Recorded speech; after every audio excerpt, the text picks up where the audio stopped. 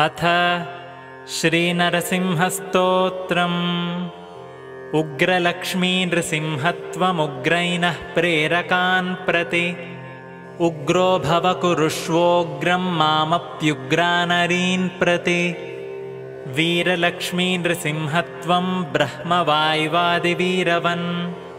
वीरं मां कुरु वीरेश सर्वकार्येषु सर्वदा महाविष्णो नृसिंहत्वं निःसीमबलसौख्यक सर्वचेष्टकविश्वात्मन् सर्वोत्सवगतो भव। ज्वलन् लक्ष्मीनृसिंहत्वं ज्वलदर्कादिसंस्थित ज्वालयाघानि सर्वाणि तेजोयुक्तं च मां कुरु। सर्वतोमुखसिंहास्य सर्वत्रावस्थितानन सर्वतोमुखनिर्वाणसाधनानि प्रकारय। सर्वोत्तमनृसिंहत्वं दुर्बलं सबलं कुरु। स्वभक्तजनसङ्घे मामुत्तमं कुरु दुष्टहन्। भीषणात्मनृसिंहत्वं दुर्गाराधितपद्वय।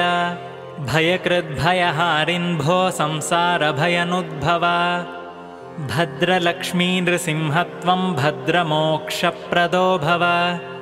अभद्रं नाशयास्माकं कामक्रोधादिरूपकम्। मृत्युमृत्यो नृसिंहत्वं विष्णुविस्मरणात्मकम्। मृत्युं निवार्य देहि त्वं विष्णुस्मरणजीवनम्। नमाम्यहं नमामिनं नमामि भक्तिशुद्धये नमामि शास्त्रवित्तये नमामि दासदासकः। सर्वाहेयनृसिंहत्वं नमां जहिः नित्यक।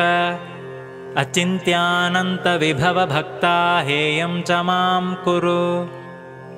इति श्रीसत्यात्मतीर्थविरचितम् श्रीनरसिंहमन्त्रव्याख्यानात्मकम् श्रीनरसिंहस्तोत्रम्